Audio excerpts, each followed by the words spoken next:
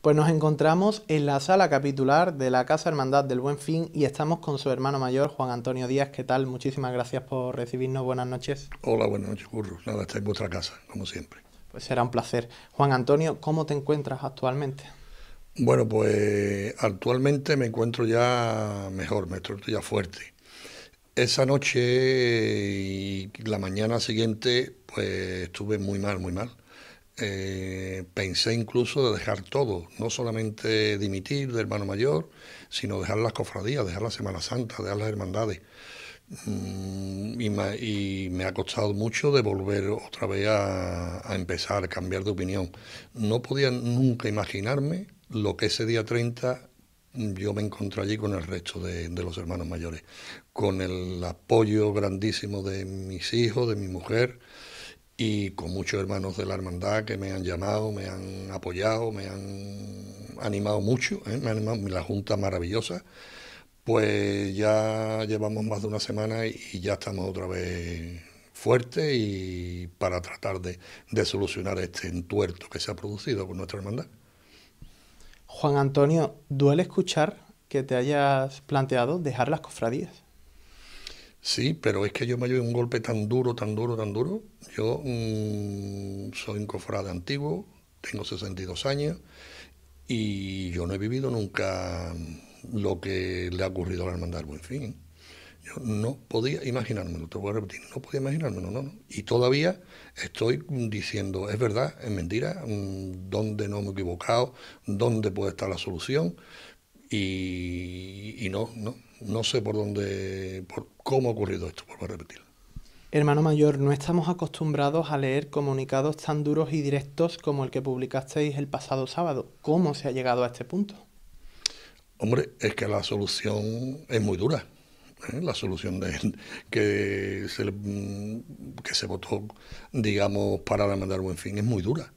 No es cambiar una calle, no es cambiar una hora, media hora, no, no es que es como si fuéramos una hermandad nueva. Nosotros tenemos que replantearnos todo entero, toda la hermandad. En vez adelantamos dos horas nuestro recorrido de, salida de la cofradía. Tiramos por el barrio casi al mediodía. Cuando llegamos a la, a la catedral, siempre hemos tirado nosotros a la izquierda. Nosotros, mm, los San Bernardo hacia la derecha nosotros hacia la izquierda. Nosotros nunca hemos molestado a nadie ni nada. Y llegamos y ahora para la derecha. Y luego, no contentos que llaman por la derecha, ahora nos hacen llegar hasta el museo. Y cuando llegamos al museo, luego nos tiran por una calle que nosotros no tenemos nada que ver con esa calle, que es la, la calle San Vicente. Bueno, y, todo el recorrido nuestro de vuelta por el barrio, por, la Gavidia, por Cadena Espínola, la calle Alcoy, mm, que, que lo tiramos así por la borda, por las buenas, porque cinco o seis hermandades dicen, bueno, pues vamos a poner buen fin la segunda. Bueno, ¿y por qué? Porque alguien me tendrá explicaciones. ¿Qué hago yo con mi hermandad? Que me lo digan. ¿Qué le explico yo a los hermanos? ¿Qué le digo a los hermanos? Tienen que comprender que, es muy duro para nosotros. Yo comprendo que el, comunicado mm, es duro, pero es que no cabía otro. Es que no cabía otro. Yo no le puedo poner a mi hermano paños calientes. ¿Qué le digo? ¿Que estamos de acuerdo? Que vamos a tirar, somos franciscanos, muy humildes. Pues somos humildes, pero tontos no somos. Además, el Buen Fin eh, va a ser la única hermandad obligada a no pisar su feligresía, su barrio. Sí, sí, sí. sí. por eso lo digo. Yo no conozco ninguna, ningún sitio, ninguna hermandad en Sevilla que se le prohíba pasar por su barrio. ¿eh? Porque prohibición. Es prohibición. Nosotros bueno, han dicho, bueno, ¿y por qué no hacéis el recorrido del, del gran poder? Primeramente, nuestros pasos no andan como anda el gran poder y luego sería salir, llegar los, los nazarenos aquí a la una y media, dos menos cuarto de la tarde y recogernos a las dos de la noche. No comprendéis que nosotros no somos que podemos estar más de 12 horas en la calle y que si luego llegamos nosotros a la calle San Vicente, tenemos a 500 metros los, nazarenos están viendo la, nuestra iglesia y ahora que le vamos a decir una vuelta para acá, una vuelta para allá, no podemos. No podemos, es, uno, es una obligatoriedad de tirar por la calle San Vicente, no tenemos otra solución. ¿Cómo es posible que seis hermandades se hayan apartado del preacuerdo que había con el miércoles santo? Pues mira, mm, a mí me lo decían, venga, hace mucho tiempo me lo iban diciendo, Juan Antonio, que hay hermandades que están hablando, mm, aparte del resto de hermandades, y yo no me lo creía. Yo no me creía, yo mm, iba a decir, tengo, mm, tenía o teníamos tanta unión, tanta amistad, que las cosas no las hacíamos en, las cosas no las hacíamos en claro, todo el mundo, oye, pues puede ser, pues no puede ser, bueno, vamos a arreglar esto. Siempre el miércoles santo ha sido un día que hemos llevado a gloria lo bien que se llevaban los hermanos mayores. ¿eh? Salimos con nuestras señoras, también van a las vamos a reunirnos, van a nuestras cenas de convivencia, hacemos, realizamos convivencia. Y yo no me creo todavía, ya me lo tengo que creer, perdón, sí me creo que mm, cinco o seis hermandades se hayan reunido para mm, arreglar el día. Yo lo que creo es que se han arreglado ellas y una vez que se han arreglado ellas, bueno, pues vamos a rellenar los huecos con los que sobran. Entiendo que en esa reunión donde estaban esas seis hermandades no contaron con el buen fin, ¿no? No, no, no. Nunca, nunca han contado. No sé si son cinco o seis, ¿eh? No lo sé. ¿eh? Yo en la, en la primera reunión, la primera cuando, cuando el Consejo nos reunió para proponernos, para indicarnos todas las propuestas que, había, que, que, la, que la Hermandad del Miércoles Santo habían hecho, pues luego yo me quejé a los hermanos que me habían comunicado que habían tenido reuniones aparte del resto de, hermandades. Mm, me reconocieron que sí, que bueno, que sí, que te podemos llamar, que te íbamos a llamar, pero por unas cosas, por otras, pues no te hemos podido llamar. Y al final Roma con Santiago y al final el Buen Fin y otras hermandades también, no solo el Buen Fin, ¿eh? y otras hermandades también, pues se quedaron fuera de, estas reuniones, digamos, paralelas al miércoles santo. Entonces, si después de todo esto me dice que, el comunicado es duro, yo no lo sé qué, qué comunicado podríamos haber hecho. ¿Cuál es la actual relación entre los hermanos mayores del miércoles santo? Bueno, pues la actual relación de pues, prácticamente con cinco de los seis votos, yo no sé si ellos los que votaron sí tendrán algunas reuniones o tendrán algún comentario o tendrán alguna charla o tendrán algo. Mm, a mí no me ha llamado nadie, ni exceptuando Alberto, el hermano mayor del Cristo de Burgos. Eh, he hablado también mucho con Ángel Corpa, eh, que desde aquí le, doy un abrazo y me pongo también por la tremenda vamos desfachatez que ha tenido hoy en su en su parroquia, en su iglesia hoy la pintada esa no sé, los, los, vándalos que tenemos hoy por aquí, y con el y con Chema, el hermano mayor del Carmen, también porque hemos ido juntos a varios, a varias entrevistas en la radio y hemos hablado en la radio.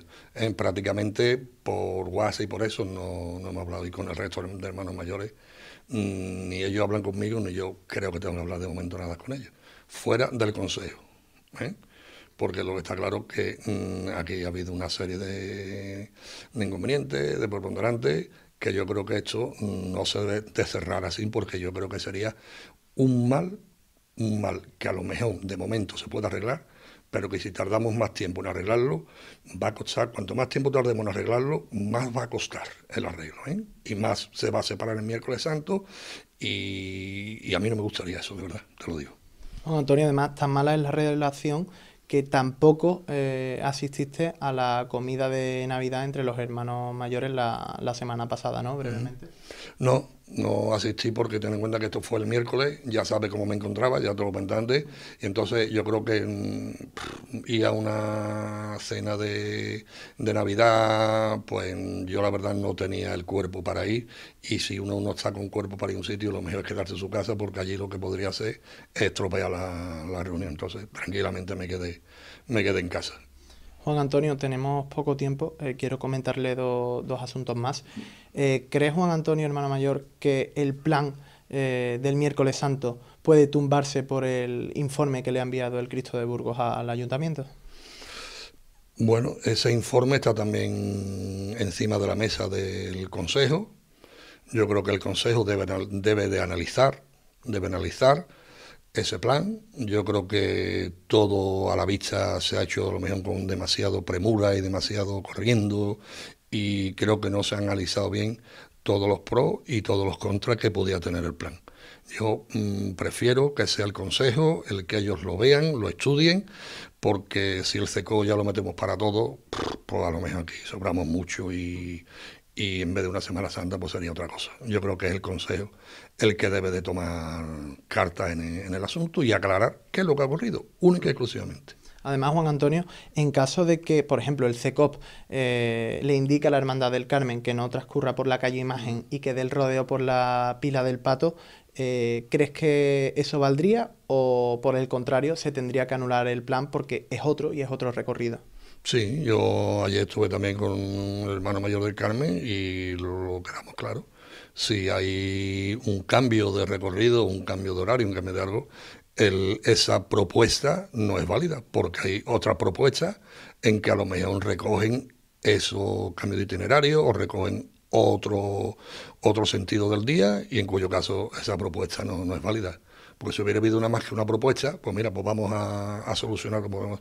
Pero es que hay 14 o 15 propuestas, entonces tienes que entender que el buen fin no estaría ya de acuerdo en, esa propuesta. Y por último, Juan Antonio, eh, te pido que mires a cámara y envíes un mensaje a los hermanos mayores de la jornada y al Consejo de Hermandades eh, de cara al futuro de la jornada del miércoles santo y haciendo una reflexión sobre el actual estado en el que se encuentra la jornada y bueno, la situación tan pésima por la que pasáis los hermanos mayores del día, mirando a la cámara. Bueno, pues me dirijo, como tal vez ocurre, me dirijo a todo el que quiera escucharme, todo el que quiera ver y mi, únicamente mm, creo, esto lo hablamos del principio, que se iba a romper el miércoles santo y yo creo que el miércoles santo está roto igual que hemos conseguido mm, esa unidad y esas buenas palabras y esos buenos actos para todos, yo me ofrezco, me ofrezco de, vamos, para hacer lo que haga falta y volvernos a reunir. Y yo creo que si nos volvemos a reunir, nos miramos a la cara y nos decimos las cosas a la cara ¿eh? entre nosotros. Yo creo que el miércoles santo pues cerrarán muchas de las heridas que, se han abierto y, mi interés es que las heridas no lleven a alguien más allá, sino que nos quedamos en eso, en heridas y que nadie pase a la UCI, ¿eh? que todo se recupere y que volvamos a ser un, gran miércoles santo, como siempre lo hemos sido. Pues Juan Antonio, muchísimas gracias por abrirnos las puertas de, de, tu casa, de la Hermandad del Buen Fin, de su casa Hermandad y de verdad esperamos de todo corazón que esta situación se resuelva, porque además creo que perdemos todos, no solo los hermanos mayores del miércoles santo, ni no solo eh, los hermanos mayores de la nómina, no, los cofrades también perdemos, porque estamos dando una imagen muy triste para todo aquel que nos quiere atacar. Muchísimas gracias, muchísimas gracias y esperemos que haya fumata blanca. Muchas gracias a ustedes totalmente de acuerdo y comparto tus últimas palabras. Y ya sabéis que aquí tenéis la casa hermandad, vamos, la hermandad del Buen Fin y el centro de estimulación precon que, que estoy mirando otras cosas en vez de mirar el centro de estimulación precon, que es lo que a nosotros verdaderamente nos interesa.